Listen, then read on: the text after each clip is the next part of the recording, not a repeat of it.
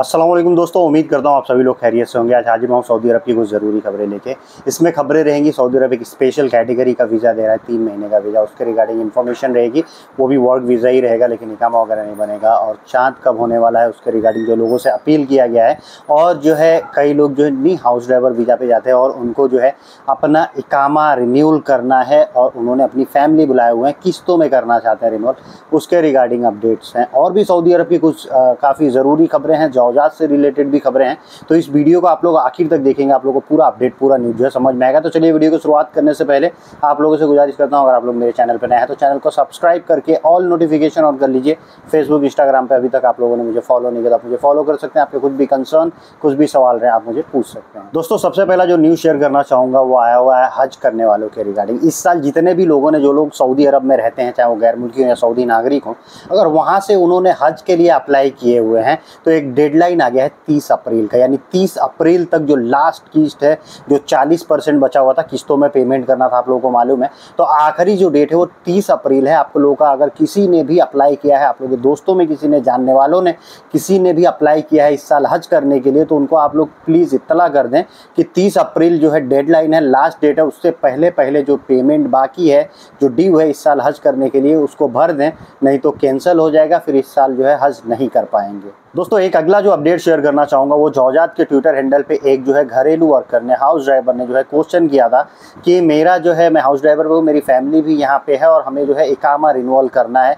तो क्या मैं ये इकामा तीन तीन महीने में, यानी पार्ट वाइज रिन्यूअल कर सकता हूँ क्या? क्योंकि बहुत ज़्यादा पैसे लगते हैं और इतना इतना जो है एक साथ एक साल में का रिन्यूअल करना और इतना पैसा बियर करना थोड़ा हमारे लिए मुश्किल हो रहा है। यही इनका सवाल था। इस पर जौजात ने जवाब दिया है कि देखिए, जितने भी गैर मुल्की लोग हैं जो सऊदी अरब में, अगर वो लोग कमर्शियल में है तो कमर्शियल में ऑप्शन रहता है तीन तीन महीने का इकामा रिन्यूअल करने के लिए। अगर आप फैमिली विज़िट वीज़ा पे हैं और मतलब सॉरी अगर आप लोग किसी भी कफिल के पास हैं, घरेलू वर्कर हैं और आप अपनी फैमिली को बुलाए हुए हैं, आपकी फैमिली आपके स्पॉन्सरशिप में आएगी तो वो ज़िम्मेदारी आपकी है। आपका इकामा एक साल के लिए रिन्यूअल करना ही पड़ेगा। एक साल के लिए आप अपना जब इकामा रिन्यू करेंगे तो साथ साथ जो आपके इंडिपेंडेंट मतलब जो आपकी फैमिली है, उनका भी इकामा रिन्यूअल होगा। कोई भी ऐसा प्रावधान नहीं है कि घरेलू वर्कर जो है तीन महीने के लिए अपना जो है इकामा रिन्यूअल कर सकते हैं। ये जो है केवल कॉमर्शियल वर्कर के लिए है। तो यहाँ पे फिर एक बार और जवाब ने क्लियर कर दिया है। जितने भी डोमेस्टिक वर्कर वर्कर ना, उनका एक साल का ही इकामा रिन्यू होगा, एक साल का ही इकामा बनेगा। दोस्तों, एक अगला जो सवाल लेना चाहूँगा, काफ़ी इंपॉर्टेंट सवाल है और जो है ये ट्विटर अकाउंट पे पूछा गया है जवजात के।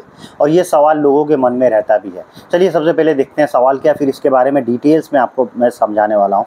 ये जो सवाल किया गया है जवजात के ट्विटर अकाउंट पर इसमें कहा गया है कि हम जो है अपने देश छुट्टी पर वापस आए थे और इमरजेंसी में छुट्टी बढ़ाना था। हम जो है, हमारा छुट्टी एक्सपायर हो गया तो हमने कफिल से बात की है कि हमारा छुट्टी बढ़ा दीजिए। वो रेडी भी हो गए हम आपका छुट्टी बढ़ा देंगे। लेकिन उन्होंने धोखा कर दिया, छुट्टी नहीं बढ़ाए, बल्कि उन्होंने इकामा ही कैंसिल कर इकामा ही कैंसिल कर दिए तो इकामा जब कैंसिल होता है तो आदमी चला जाता है खुरूज वलीमद में। यानी उसके ऊपर तीन साल की पाबंदी लग गई।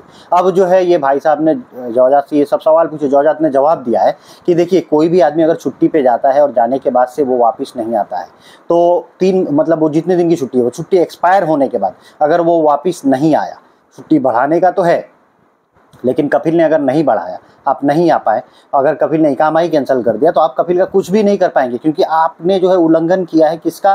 कुरुज वहादा के नियम का, यानी आपने छुट्टी के नियम का उल्लंघन किया है तो आपके ऊपर तीन साल की पाबंदी लग गई, उन्होंने इकामा कैंसिल कर दिया। अब आप सऊदी अरब नहीं जा सकते हैं, और सऊदी अरब नहीं जा सकते हैं मतलब किसी भी वीज़ा पे नहीं जा सकते हैं। तो जो लोग भी सोचते हैं ना कि हम अब जो है उम्र वीज़ा पे चले जाएँगे या फैमिली विज़िट वीज़ा पे चले जाएँगे, ऐसा कोई प्रावधान अब नहीं है 2022 से ये सारे रूल चेंज हो चुके हैं। खुरूज वली अहमद में जो लोग भी आते हैं, तीन साल की पाबंदी जिनके ऊपर आयद होती है, वो लोग सऊदी अरब किसी भी वीज़ा पे नहीं जा पाते हैं। ये एक पॉइंट हो गया, ये क्लियर हो गया, जितने भी लोग हैं। दूसरा एक पॉइंट आप लोगों से गुजारिश करूँगा, जो लोग भी सऊदी अरब से छुट्टी आते हैं, वो छुट्टी एक्सपायर होने से पहले जो है अपने जो है सऊदी अरब में रिटर्न होने की कोशिश करें रिटर्न आ जाए तो उनके लिए भलाई है।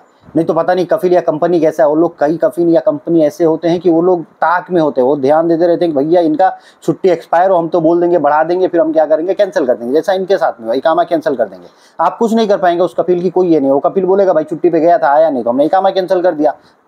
तो वो वो तो भाई लीगली काम कर रहा है। आपने इलीगल काम किया है। लेकिन आपके साथ धोखा हुआ है। लेकिन आपका ये बात कोई मानने वाला नहीं है। जवाजात ने भी एक क्लियर कर दिया तो इस चीज़ का ध्यान रखें कि कोई भी लोग छुट्टी पे जाएँ तो अगर कफिल अच्छा है, बढ़ा दिया तो ठीक है। पहले ही बात कर लें, छुट्टी एक्सपायर होने से नहीं बढ़ा रहा है तो आप लोग छुट्टी एक्सपायर होने से पहले सऊदी अरब ज़रूर पहुँच जाए। एक अगला न्यूज़ आप लोगों से शेयर करना चाहूँगा, काफ़ी इंटरेस्टिंग न्यूज़ आप लोगों को। मालूम है कि इंडिया में लोग कई तरह की वीसी वाला होता है, कमेटी वाली गेम खेलते हैं, यानी पैसे इकट्ठा करके एक साथ और कुछ कर करके लोगों, भैया तुम लोग तुम लोग तुम लोग ऐसा करके लोन टाइप का मतलब पैसा इकट्ठा करके किसी एक आदमी के नाम से पट्टा निकाल के दे दिया जाता है, उस तरह का। उसी तरह का कुछ सीन करते हुए सऊदी अरब में एक आदमी को पकड़ा गया है और उसको जो है तीस हज़ार रियाल का फाइन उसके ऊपर लगाया गया है। ये लोग, ये जो चीज़ होता है वो इलीगल होता है। इसमें बताया गया है कि ये लोग जो है एक फिनेंशियल कंपनी टाइप का मतलब कुछ चला रहे थे फिनेंशियल और उसमें जो है इनका कंपनी भी कुछ भी रजिस्टर्ड नहीं था, मुँह मुँह से बोल के बातें करके भाई ऐसा ऐसा होता है करके कर रहे थे। तो समझ में बात यही आती है कि कमेटी टाइप का कुछ खेल रहे होंगे भाई साहब लोग। और उसमें किसी से कोई प्रॉब्लम हुई होगी तो किसी ने कंप्लेन कर दिया होगा। तो ये इलीगल चीज़ है। आप भले ही आप लोग खेलते हैं आपसी सहमति से यार, दोस्त फैमिली वाले वहाँ पे जो रहते हैं वो खेल लेते हैं। लेकिन ये चीज़ें इलीगल है। अगर कोई उसमें से कंप्लेन करता है तो हशर यही होता है। दोस्तों, एक अगला जो न्यूज़ शेयर करना चाहूँगा सऊदी अरब की सुप्रीम कोर्ट ने लोगों से चाँद देखने के लिए, ईद का चाँद देखने के लिए लोगों से गुजारिश किया है कि आप लोग उनतीसवें रमज़ान के दिन, यानी सऊदी अरब में जो है उनतीसवां रमज़ान कल के डेट में होने वाला है, जुमेरात के दिन। तो जुमेरात के दिन जो है, आप लोग चाँद देखने का अहतमाम करें, चाँद देखने की कोशिश करें और चाँद जो है, दूरबीन वगैरह से जो लोग देखते हैं, वो भी देखते हैं। हालाँकि अपडेट न्यूज़ आ जाएगी। अगर कल चाँद हो गया तो परसों सऊदी अरब में ईद होगा और शनिचर को इंडिया में ईद होगा। अगर चाँद नहीं होता है तो तीसों रोज़ा जो है, वो पूरे होंगे। दोस्तों, एक अगला न्यूज़ शेयर करना चाहूँगा। सऊदी अरब से आया हुआ सऊदी अरब की मिनिस्ट्री ने मिनिस्ट्री ऑफ़ ह्यूमन रिसोर्स बोल सकते हैं। उन्होंने एक टेम्पोररी किस्म का वीज़ा अनाउंस करने के लिए मतलब वीज़ा इशू करने के लिए अनाउंसमेंट कर दिया। वो तीन महीने का वीज़ा होगा टेम्पोररी ये वीज़ा कोई भी कंपनी कोई भी मौससा चाहे तो गैर मुल्की को बुला सकता है इस वीज़ा पे तीन महीने के वीज़ा में। और ये तीन महीने का वीज़ा मिलेगा। तीन महीने आप सऊदी अरब में आके उस कंपनी में काम करेंगे, उसके बाद से उस, वो कंपनी चाहे तो तीन महीना और आपका वीज़ा बढ़ा सकती है। शट डाउन का आप लोगों ने नाम सुनेंगे, उसी तरह को इसको आज आसान कर दिया गया है। कोई ज़्यादा पेपर वर्क करने की ज़रूरत नहीं आपके कंपनी में कॉन्ट्रैक्ट कॉन्टैक्ट है। आप जो है कीवा से कॉन्टैक्ट करेंगे। वो कंपनी कीवा से कॉन्टैक्ट करेगी, बताएगी, भैया, ये हमको इतने बंदे चाहिए। उतने वो बंदे मतलब वीज़ा जो है ग्रांट कर देंगी वो, और वो वीज़ा जो है उसका वकाला आएगा और ऑफ़िस वाले फिर जो बंदे आपसे कंपनी बोलेगी, वो कंपनी में वो बंदे जाएँगे, काम करेंगे। तीन महीने का वीज़ा रहेगा। शॉर्ट टर्म वर्क परमिट बोलते हैं जिसको, फिर वो तीन महीना वहाँ पे एक्सटेंड भी हो सकता है। ये नए किस्म का वीज़ा जो है सऊदी अरब में लॉन्च हो गया है और शुरू हो गया इस तरह इस पर भी बहुत कंपनी जो है काम शुरू कर चुकी है। दोस्तों, एक अगला अपडेट शेयर करना चाहूँगा। मुंबई कौंसलेट सऊदी अरब की जो कौंसलेट है मुंबई में, वहाँ से अपडेट आया हुआ सऊदी अरब में ईद मनाया जा रहा है। तो कौंसलेट कब तक बंद रहेगा, कब खुलेगा? देखिए, कौंसलेट जो है, आज के डेट में लास्ट डेट था, यानी कल से कौंसलेट बंद होगा बीस तारीख से, और कौंसलेट फिर जाके सत्ताईस चार को जो है, यानी अगले थर्सडे को कौंसलेट खुलेगा। तो समझिए, उसमें भी कोई कुछ काम नहीं हो पाएगा तो जिन लोगों ने भी वीज़ा के लिए प्रोसेस किया है, थर्सडे का जिनका सबमिशन रहेगा, वो तो हो जाएगा, फिर उसके बाद वाले हफ़्ते में बात जाने वाली है। मोटा मोटी मान लीजिए कि कौंसलेट जो है, दस दिन के लिए बंद रहेगा, दस दिन तक वीज़ा वगैरह नहीं लगने वाले हैं।